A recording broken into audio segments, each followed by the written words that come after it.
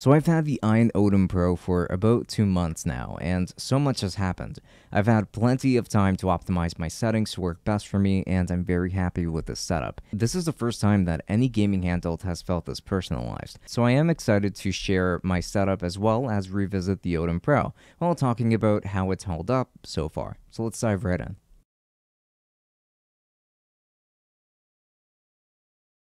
This video is sponsored by Bottom Labs. Look, we all need pants, but it doesn't mean that we should wear ugly ones because you're too lazy to go buy a new pair. Bottom Labs will ship straight to your door with quality pants of your choice. I actually picked these black jeans that not only have buttons like usual, but they also have the strap to tighten these to fit your waist the way that you want it to. So go get yourself some pants. Click on the link in the description and browse for your favorite design Go for it because we all need pants. And thanks again to Bottom Labs for sponsoring this video.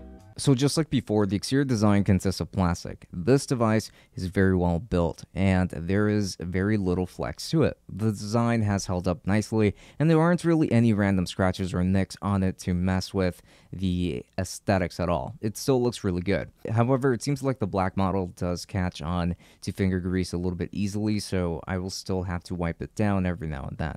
However, the screen has been almost lint and dust free, which is awesome. The screen always stays clean and I don't even clean it. I do use the touchscreen enough that I should see more marks on it, but I don't. It's really cool thus far. I really think that the design has held up really nicely, but let's see how it holds up about a year from now when I eventually update this video. And here's another thing. I've definitely broken in the buttons by now and they still feel great. They still feel sturdy and like they quickly press down and the D-pad in particular feels even better now because it feels a little bit more loose. So it's just more pleasant to play with. The analog sticks still feel the same to me. We just have to get used to how they are since it kind of resembles Switch uh, or Joy-Con thumbsticks, but they aren't really quite like it. They're just a little bit wider than that. But I always enjoyed the feel of them. I've grown to like my Odin even more with time, but again, let's see how that statement will age within a year. So this device features a 1920 by 1080 IPS display that still looks really good to me. It gets pretty bright and the colors aren't too saturated. They are a little more natural looking or a little more muted, I suppose. It happens to look very good, though more saturation is never really a bad thing as long as it's in moderation but I do like it. I haven't felt the need to calibrate the screen, so I am happy with it. However, I do kind of wish that this was an OLED panel because I think that we could have gotten one for the Odin Pro to separate it a little bit better from the regular Odin, since for the regular Odin and the Odin Pro, it's really just kind of a spec bump, but, but not even in terms of the CPU, it's mostly just when it comes to RAM. And plus, OLED would just be a better looking display overall. So if there ever is an OLED upgrade, then I would definitely love to give that a go. Now, the speakers don't actually sound as good to me as they did at first. They sound a little bit quieter for some reason, but still good enough. I won't bother doing a speaker demonstration because it's not that different from how they were. Because they're not that different from how they were, it's just a minor thing that I've noticed, but I could just be going insane too.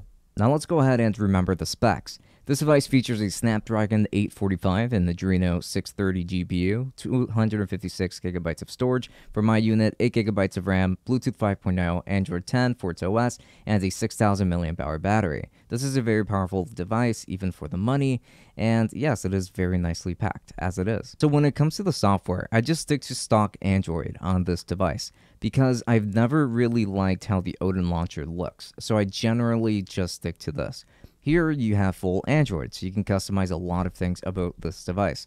Honestly, because of those customizations, I would recommend that you stick to Android because it's more flexible. It's less streamlined, sure, than Odin's launcher, but I think that Android is just way better. And as for which launcher I use to manage my games, I actually used a reset launcher because I really like how it looks. It has a fantastic scraper to get your game art, though it won't always work since there are still some games without any art and it will even load gameplay for you, but it's not always guaranteed. Either way, it works for me most for the most part and it just feels like such a cool and modern interface or like a manager for, for managing your games. And you can manage your emulators, ROMs, and Android apps. It's awesome, and I always go there first before ever touching the individual emulators since it's just that nice. But I've set this up to have everything on here. I really recommend this one. I know that Launchbox is another great launcher, but I personally think that the Reset one looks better, and it's only $5 on the App Store, if I recall. So, yeah.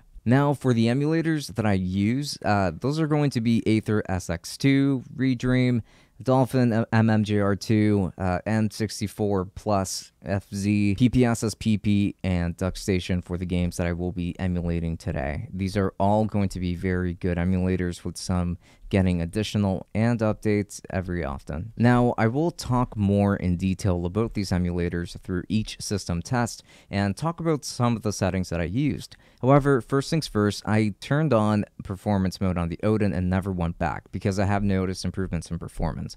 I'd rather have great performance and trade a little bit of battery life for it. Now, this is when we start talking about actual performance, and today I will be testing quite a few emulators. Almost everything I said in my last video has changed for me after doing some tweaks. So here we go.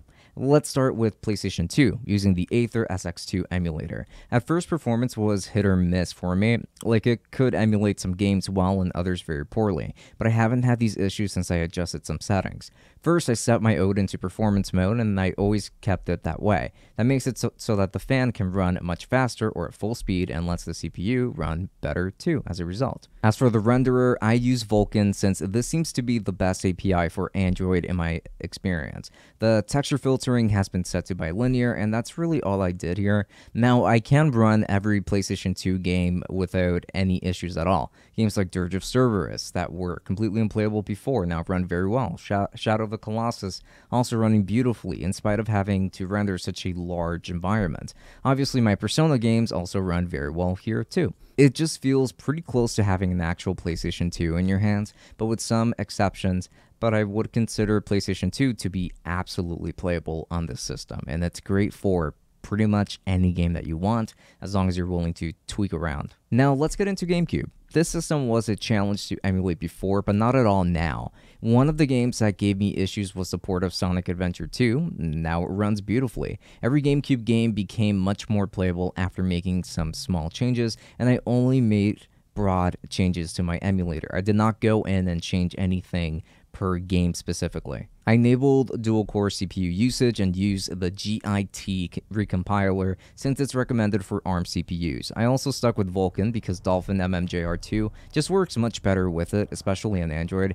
Lastly, I enabled backend multi-threading, and since this emulator can be used for both Wii games and GameCube games, I decided to stick uh, to it for both of these systems. Since it netted me great results here too. So Legend of Zelda Twilight Princess, Super Smash Bros. Melee, uh, Pokemon XD, Shadow the Hedgehog, Hedgehog, and so many more got a significant performance boost from these settings, so now I am actually really happy with GameCube performance as is. Now, last time I did neglect to do Wii games because GameCube games were already running poorly for me, at least some of them were, but this time it's very different, and like I said, I kept the same settings from GameCube to Wii.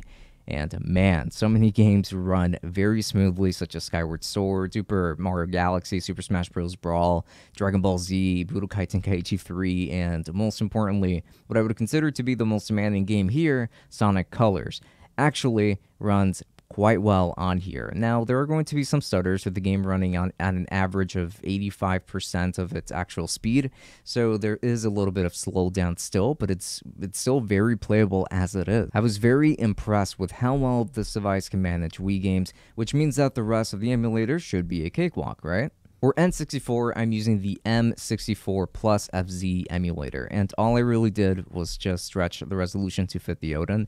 I didn't make any performance changes because I didn't find it to be necessary at all. And surprise, surprise, Ocarina of Time runs really well here. Granted, there are some graphical issues that are pretty minor, but they could bother uh, other people still. So that's why I wanted to mention them. Personally, I think that playing Ocarina of Time like this is great. looks super sharp and it just feels more modern. I'm not someone who likes to play games at 4x3, so I definitely prefer this.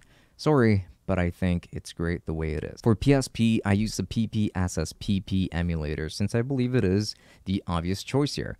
I will talk about the worst case scenario, which is going to be something like God of War Ghosts of Sparta. I set the API to Vulkan like I did for every other emulator where it was possible, and set the resolution to 3x without experiencing many issues, if at all. The game looked really good, and I can guarantee that many other PSP games can run easily at a 4x or even higher resolution. So that's worth noting. The Odin is very powerful. The last emulator that I will be testing here is Redream for Dreamcast, and this is no surprise that it runs as well as it does. Sonic Adventure 2 looks and feels really good to play on the system, and I really just wanted to showcase how it looked here. Performance is near flawless, in my opinion. So since this was requested last time, I will do an Android gaming test, but I don't play mobile games, so this is only for testing. That's why I picked Genshin Impact for this test, and it runs really well. You do have to do some buttons remapping because there isn't controller support built into the mobile version of this game, and I never really figured out how to do this, but I know that it is possible. But performance is really good. For Snapdragon 845, I'd say you will have a very enjoyable experience playing Android games on the Odin, since there isn't much in the Play Store that, that can really push it. So there's also the Super Dock for the Odin, and while it wasn't working for me for some time, now it's working very well. I can plug in my Odin and use a GameCube controller to control the interface and play GameCube slash Wii games that way. But you can also connect an Xbox or PlayStation controller if you want to to it, since you have a bunch of USB ports and this does have Bluetooth support. But the presentation with the dock is awesome, and if you wanted a Switch-like experience but for emulators, then this is a great solution for you. Now, I can have local matches of Melee with two GameCube controllers to make it feel like the good old days. Isn't that nice? Now, in terms of the battery life, I have found that this device is actually quite exceptional. I would say five hours with more usage, and I've been playing a ton of PlayStation 2 games on this, so I have been pushing it quite a bit, while still keeping it in performance mode, by the way, at all times. It's quite good. So in conclusion, I love the Odin more now than I did when I first got it. This is a device that requires some setup and it's worth taking the time to set it up and get the settings that work best for you. That's why I wanted to do this video, because I figured that it would be a worthwhile update for my Odin Pro review. So do I still recommend it? Absolutely. Not if you're getting into emulation though. There are plenty of other devices I would recommend for that. But if you're more experienced, then this is the device for you. You will love it because I love it. And that should be enough for you to get it. So thank you so much for watching this video all the way up until the very end. It is always appreciated. Um, now, the Odin, unfortunately, is still in the middle of a campaign. There isn't a retail version to get at the moment. Uh, so no links to that, so don't worry about that. I still wanted to give a very special thanks to all of the patrons, beginning with the tier threes. Omar, thank you so much for all of your support, and everybody else, the tier twos and the tier ones. You guys have been doing a great job, so thank you so much, and I hope that you've been enjoying the additional content. Uh, well, not additional, but the early content and the other perks that come with being a patron. And also, please make sure to follow me on Twitch, where I've been streaming on Mondays, Wednesdays, and Fridays. And on Instagram, I do post over there every now and then, so I would appreciate a follow over there too. Now, with that said, this has been Francisco from Tech Summit. It's blazing hot in here in this garage, and until next time, enjoy.